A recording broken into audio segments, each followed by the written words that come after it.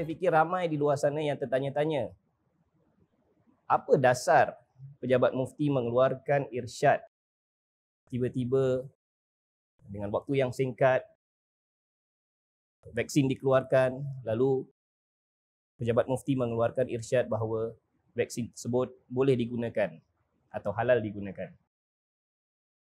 Saya tertarik tadi dengan penjelasan yang diberikan oleh uh, mufti uh, atau timbalan mufti tentang maqasid syariah dan juga apa yang diutarakan tentang pentingnya sesuatu fatwa irsyad yang dikeluarkan dapat menyelesaikan masalah yang berlaku yang dihadapi oleh masyarakat pada satu-satu tempat dan juga masa. Jadi ini perkara yang penting. Masyarakat Islam di Singapura perlu faham, perlu peka tentang maqasid syariah. Apa dia maqasid syariah?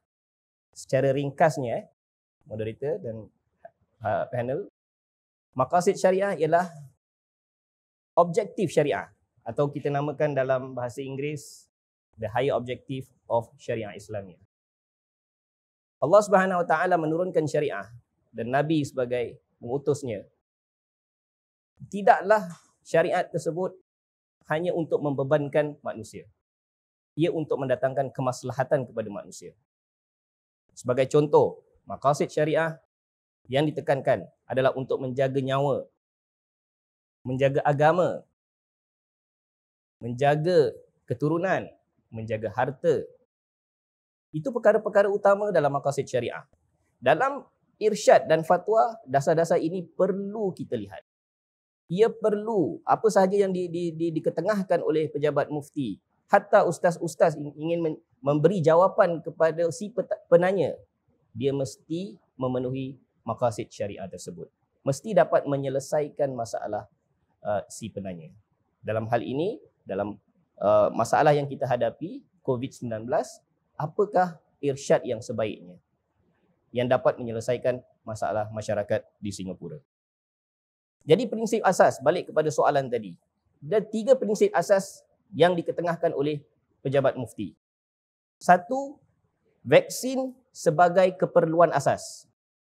Saya fikir hal ini kita semua dapat bersetuju bahawa vaksin pada tahap ini dia sebagai keperluan asas kita dapat lihat eh, kita hadirin semua kita peka dengan berita-berita yang yang yang yang ada di depan kita berapa ramai kematian berapa ramai orang yang dijangkiti uh, sakit covid dan betapa mudahnya uh, apa wabak ini merebak antara satu ke yang lain kita memerlukan